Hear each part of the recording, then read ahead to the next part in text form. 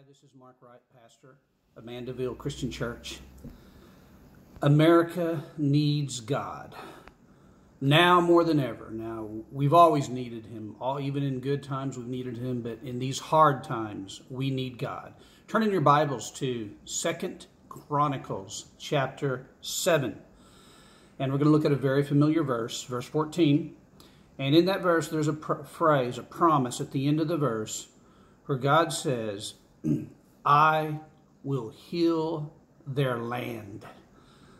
I will heal their land. America needs that today. We need God to heal our land today.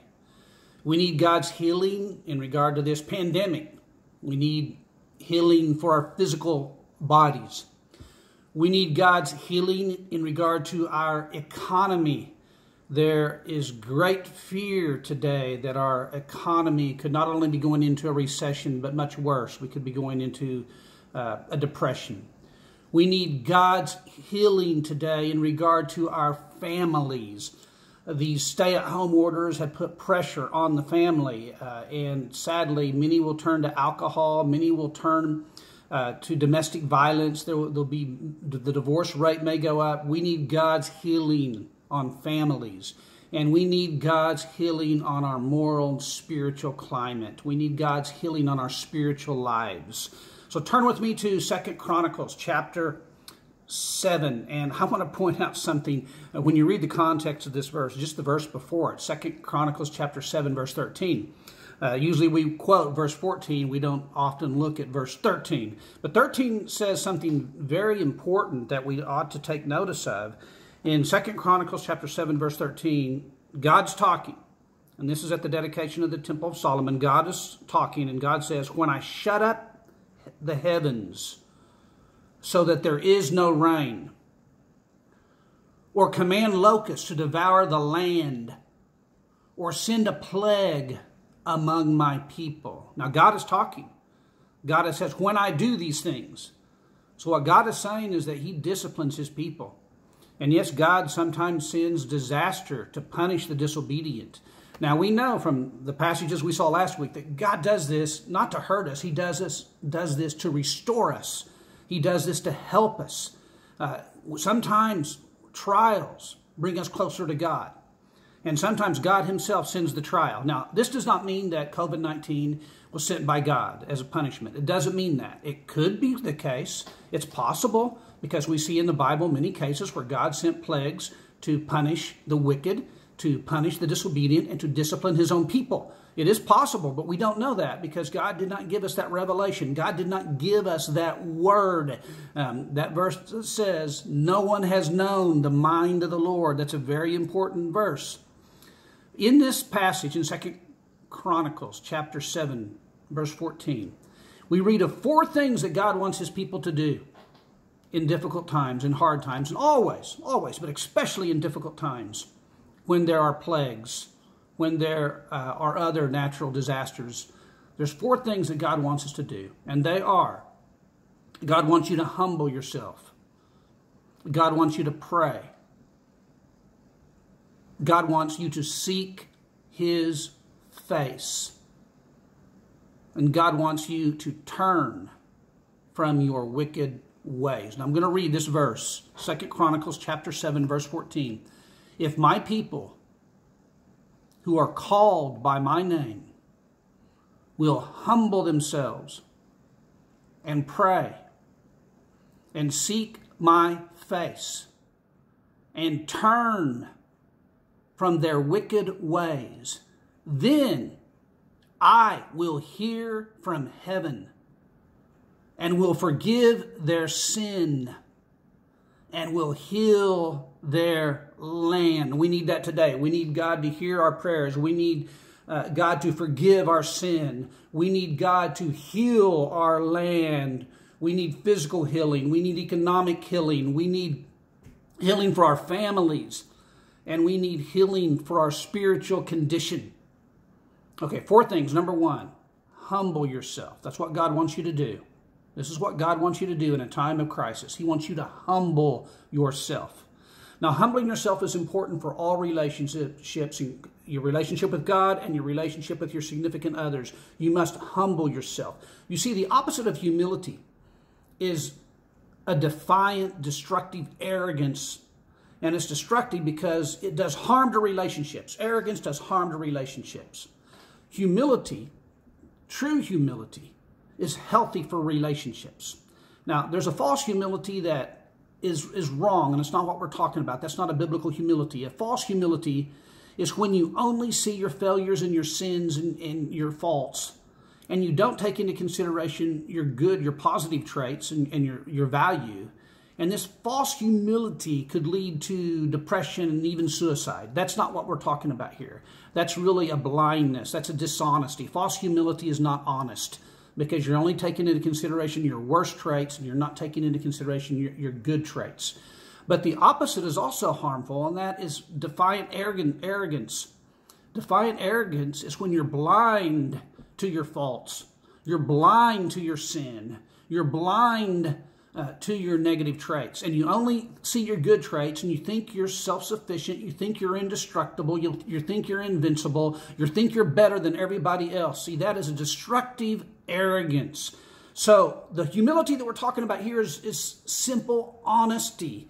It is an honest assessment of who you are, where you take into consideration your good traits and your negative traits. And by taking into consideration your negative traits, you realize that you have failed and that you are imperfect and you are flawed. And just because, because you are flawed, you are more gentle and kind to others around you, your significant others, your husband, your wife, your children, your, because when they are flawed, because you're flawed too, uh, they need forgiveness and you need forgiveness. And when you realize that you need forgiveness just as much as they need forgiveness, that's humility. And that's healthy for relationships. Uh, arrogance says, I don't need you. I'm self sufficient. I don't need anyone. And I'm willing to hurt you and abuse you because I put my own pride above the relationship. But true biblical humility says, I love you and I need you. And I am willing to sacrifice at times when needed to help you and to help our relationship. God wants you to have humility. Now, it's important to have humility for the land, for, to receive this promise of God healing our land. Because what God wants us to do is to humble ourselves and recognize our sins and to confess our sins and repent of our sins. And you cannot Recognize your sin if you're filled with prideful arrogance and you're blind to your own, your own failures. God wants you to have true humility, biblical humility. He wants you to examine yourself and recognize your sins, recognize your failures, recognize your imperfections. And this will lead the way to prayer. It will lead the way to seeking his face. It will lead the way to turning from your wicked ways. So, number one, you need to humble yourself. God's people need to humble themselves. That's what God wants. Okay, number two, prayer. Prayer. If my people who are called by my name will humble themselves and pray, that's number two, prayer. Prayer. I'm going to ask you a question. How would you rate your prayer life? Uh, using the, the grading scale of A, B, C, D, F, how would you rate your prayer life? Now we give Jesus an A plus because he prayed constantly. He would pray all night. He would leave the crowds and go off by himself and pray. Prayer was very important to Jesus. And we find cases in, in, the, in the Gospels where he prayed through the night. He prayed for hours. Daniel also would get a high grade for prayer because he it says in, in the book of Daniel, chapter 6, that Daniel would get on his knees three times a day and pray. So it would probably give Daniel an A. Now, on the other uh, side, the, the scale, uh, prayerlessness, when there's you don't spend any time in prayer, that would be an F. So how would you grade yourself? How would you rate your own prayer life?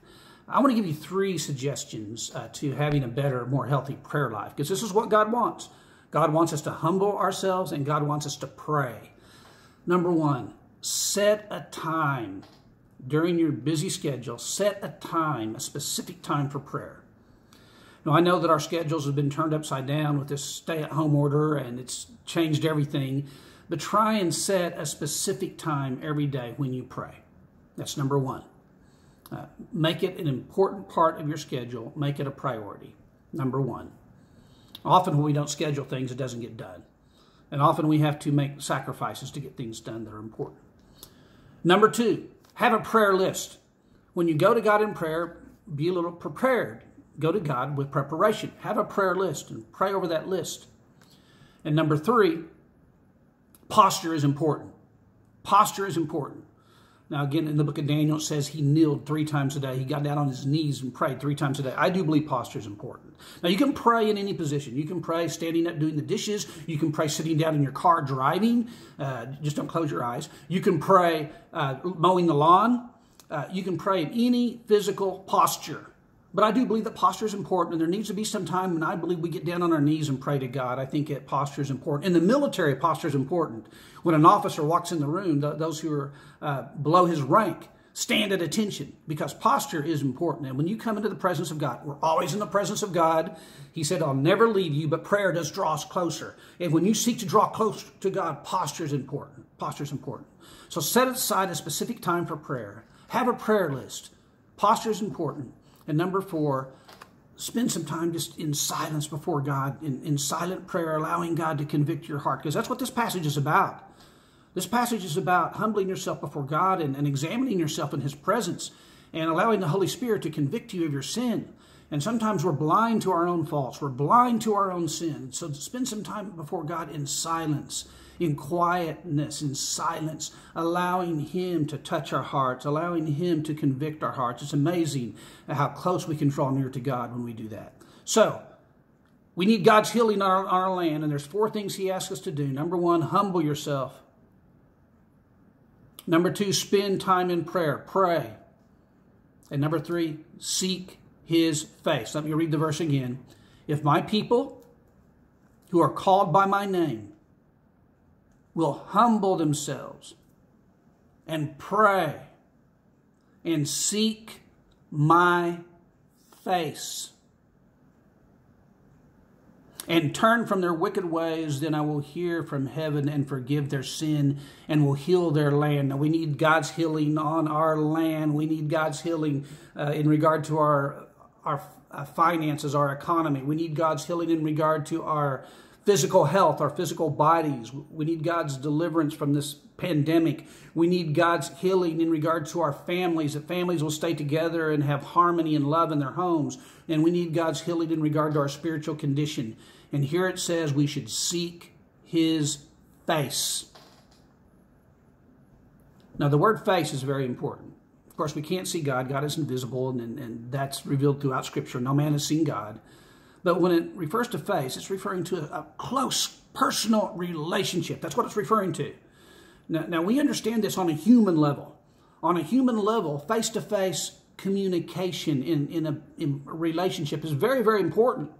Too often we're glued to our phones, we're glued to the internet, we're glued uh, to, to video games, we're glued to downstreaming movies, we're glued to TV, and too often we, we lack a face to face communication with our significant others, and therefore our relationships suffer, and our relationships become shallow, and our relationships become weak because we don't have face to face communication as often as we should, way too often in our relationships. Now, face to face communication means you look someone in the eyes and you talk and you talk about meaningful things. It may be a light subject, it may be a heavy subject, but you look at a loved one in the eyes and you look at their facial expressions and you interact. That's the way people used to do all the time before all of this technology. And I believe sometimes technology, as good as it has been in many, many ways, has also hurt us because we've lost personal relationship skills. Face to face communication is so important. And what this verse says, seek his face, it's talking about having a close personal relationship with God. Be intentional. Be intentional about seeking God. Be fervent when it comes to seeking God. Make it a priority. God wants this to be important for you to seek Him. God doesn't want you to be some disinterested party that's aloof and distant. God does not want you to be distant. God wants you to seek Him. And this is one of the problems of organized religion and formal uh, religion. You can go through all of the motions and never seek God. You can go through all of the motions of organized religion and never be close to God. You can go all through all of the religious activities and not seek God. God wants you to seek Him. We saw a verse last week in Jeremiah 29 that says, If you seek me with all your heart, you will find me. Seek Him with all your heart, seek His face. The word face implies a personal, intimate relationship with God. That's what God wants with you. And that's what you should seek fervently, intentionally, willfully. Seek God. Okay, four things. Four things. In order to experience healing for our land, God's people, the church, we're not talking about all of society, we're just talking about God's church. God's church must do four things. Number one, humble ourselves. We must humble ourselves. You must humble yourself. Number two, pray. How's your prayer life? How would you rate your prayer life? Number three, seek his face. Seek a personal, intimate relationship with God and be fervent about it. Place priority upon it. Make that important to you, to your own heart, your own life. And number four, turn. Turn from your wicked ways. I want to read the verse one more time. If my people who are called by my name will humble themselves and pray and seek my face and turn from their wicked ways, then I will hear from heaven and will forgive their sin and will heal their land. I remember years ago when I lived in Mexico and we were driving from uh, Puebla, Mexico, about 700 miles north to Saltillo, Mexico, and we were out in the desert of San Luis Potosi on the highway, and it was time for a gas stop. And uh, there wasn't much out there in this part of uh, Mexico. It was a, a barren desert type uh, environment, uh, not a lot of towns, not a lot of landmarks and we stopped to get gas. And after filling up with gas, I, I turned back on the high road, on the highway, and I went the wrong direction. Now, my wife will tell you I'm not always good at reading signs. My mind is often somewhere else. Uh, maybe deep thoughts, who knows, but my mind is somewhere else. I sometimes miss signs. I will say there, there weren't a lot of signs out there. Uh, but whatever sign was or wasn't there, I missed it. And I went the wrong direction. And not only was I not paying attention, but my wife and the other passengers in the car were not paying attention. About an hour later, I realized we were going the wrong direction. Uh, we drove, you know, probably 70 miles the wrong direction. I finally saw a landmark, a sign that clued me in. I'm going the wrong direction. I made a wrong turn.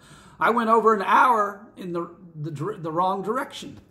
And so I had to turn around this verse says turn. It uses the word turn. When I realized I was going the wrong direction, I had to turn. I had to turn around. I had to do a U turn and start going the correct direction again. And I think many times in life we're going the wrong direction. We're doing something that's displeasing to God. We've got involved in some activity or some relationship or some, some enterprise that's not pleasing to God, and we need to fix it. We need to turn. We need to turn. Now let's just look at America here for a minute. Does America need repentance? Does America need to return from its evil ways? Let's talk about pedophilia for a minute. Now, it's long been known that there's been cases in Hollywood like Roman Polanski and more recently Harvey Weinstein and Epstein and others who've committed uh, pedophilia. But sadly, there's been documented cases of the ch- in the church, hundreds of documented cases where in organized religion, the crime of pedophilia, the heinous loathsome act of pedophilia has been committed, preying upon children. America needs to turn from its evil ways. Now, what about sex trafficking? When children are kidnapped and sold, and then uh, people pay to have sex with children, America needs to turn from its evil ways. What about the crime rate, the murder rate in cities like Chicago, St. Louis, and New Orleans? Uh, stupid crime. Often it's cartel crime, often it's gang crime, but it's, it's often stupid crime, killing people that are innocent bystanders and have nothing to do with the, the, the, the quarrel. America needs to turn from its evil ways. What about white collar crime? We can point our finger at the bank robber that walks into a bank with a gun, but the white collar crime, those thieves often steal far, far, far more. Thieves like Bernie Madoff that stole, stole billions and billions of dollars. They steal more, and that's greed. That's the love of money. America needs to turn from its evil ways. And we could go on and on and on. What about the 60 million unborn babies that were put to death in, in our abortion clinics. No, Hitler killed six million, uh, six million people in his death camps. In our abortion clinics, abortion has stopped the beating heart of approximately 60 million unborn babies. That's a fact. That's a fact. America needs to turn from its evil ways. And we could go on and on and on. America needs to turn from its evil ways. Four things. Humble yourself, pray, seek God's face, and turn from your evil ways. And when you do this, God says, I will hear from heaven. I will forgive your sins, and I will heal your land. We need God's healing today on America.